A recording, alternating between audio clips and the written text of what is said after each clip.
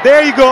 That's Nagin celebration. It's the golden arms of Mashrafi bin Mortaza. প্রথম দিন থেকেই জমজমাট এবারের বিপিএল আগের নয় আসরের অসঙ্গতি থেকে বেরিয়ে আমূল পরিবর্তনে বিদেশিদেরও নজর কাড়ছে দেশের এক নম্বর এই ফ্রাঞ্চাইজি টুর্নামেন্ট বোঝাই যায় গেলবারে সাকিবের সমালোচনার তোপের মুখে এবারে হাত ঝেড়ে বিপিএলে খরচ করেছে বিসিবি তবে চমকপ্রদ খবর হলো বিপিএলে বিনিয়োগ করতে চাইছে আইপিএল ফ্রাঞ্চাইজি মালিকরা। বিপিএল গভর্নিং কাউন্সিলের সদস্য সচিব ইসমাইল হায়দার মল্লিক বলেছিলেন, নাজমুল হাসান পাপন চান না রাজস্ব ভাগাভাগি করতে।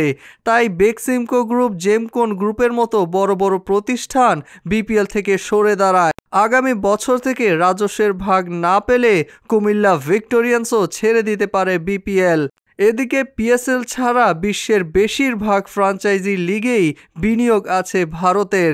আইপিএলের পর দক্ষিণ আফ্রিকার ফ্রাঞ্চাইজি লিগ সিপিএল কিংবা কানাডার গ্লোবাল টি টোয়েন্টি সবখানেই আছে আইপিএলে বিনিয়োগকারী ফ্রাঞ্চাইজিগুলো বিপিএল গভর্নিং কাউন্সিলের সদস্য সচিবের কাছে জানতে চাওয়া হয়েছিল, ভারতীয় ফ্রাঞ্চাইজিগুলো কেন বিপিএলে আসে না? তাদের কেন বিনিয়োগের সুযোগ দেওয়া হচ্ছে না?